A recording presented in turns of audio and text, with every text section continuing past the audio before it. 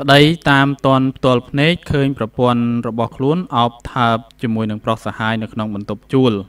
រាជធានីភ្នំពេញស្ត្រីម្នាក់មានអាយុប្រហែលជា30ឆ្នាំលបលួចទៅជួបប្រុសសហាយដល់បន្ទប់ជួលត្រូវប្តីតាមតន់ហើយបានបិទខ្ទប់ទ្វារបន្ទប់ជាប់ពីក្រៅរួចរត់ទៅប្តឹងនគរបាលឲ្យចោះខាត់ខ្លួន នាំយកទៅសាកសួរហេតុការនេះបង្កឲ្យមានការភ្ញាក់ផ្អើលឡើងនៅវេលាម៉ោង2:20នាទីរសៀលថ្ងៃទី14ខែឧសភាឆ្នាំ2020នេះស្ថិតនៅចំណុចបន្ទប់ជួលមួយកន្លែងតាមបណ្ដោយផ្លូវកែវចិន្តាបក្នុងភូមិទី3សង្កាត់ជ្រោយចង្វារាជធានីភ្នំពេញតាមប្រភពព័ត៌មាន បានឲ្យដឹងថាបរិសុទ្ធជាប្តី មានអាយុ30ឆ្នាំសុំមិនបញ្ចេញឈ្មោះបាន ប្រាប់ឲ្យដឹងថារូបគាត់ ជាជាងភ្លើងនិងជាងដែកស្នាក់នៅភូមិបាយ៉ាបសង្កាត់ភ្នំពេញខណ្ឌសែនសុខចំណែកបរោះដែលលួចតាកតងជាមួយនឹងប្រព័ន្ធរបស់គាត់ពុំស្គាល់អត្តសញ្ញាណនៅឡើយនោះទេ មានលំនៅស្នាក់នៅនៅកន្លែងកើតហេតុខាងលើតែម្ដង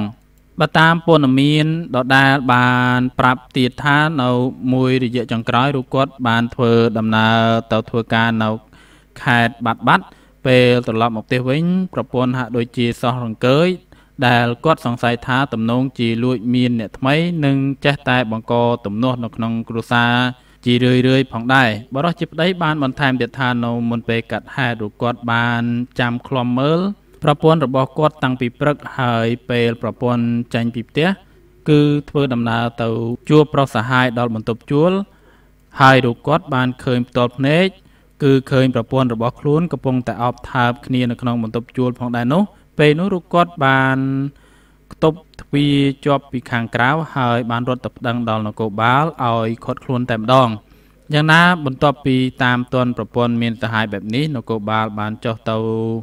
នាំអ្នកទាំង3នាក់មកប៉ុស្តិ៍នគរបាលរដ្ឋបាលជ្រោយចង្វាខណៈដែលកម្លាំងនគរបាលក៏បានណែនាំកុំឲ្យមានអំពើហិង្សារួចបញ្ជូនពួកគេបន្តទៅអធិការដ្ឋាន នគរបាលដើម្បីសួរនាំបន្តនេះគឺជាព័ត៌មានមួយតេតិនជាមួយនឹងប្តីតាមតនប្រព័ន្ធរបស់ខ្លួនកំពុងតែលួចមានសហាយនៅក្នុងបន្ទប់ជួលដែលធ្វើឲ្យមានការភ្ញាក់ផ្អើលបានកើតឡើងផងដែរទតិនជាមួយនឹងព័ត៌មាននេះឈានដល់ទីបញ្ចប់ហើយខ្ញុំបាទសូមអរគុណទស្សនិកជនប្រិមត្តអរគ្នាដែលតាមដានព័ត៌មាននេះតាំងពីដើមរហូតមកដល់ពេលនេះខ្ញុំបាទសូមអរគុណនិងសូមជម្រាបលា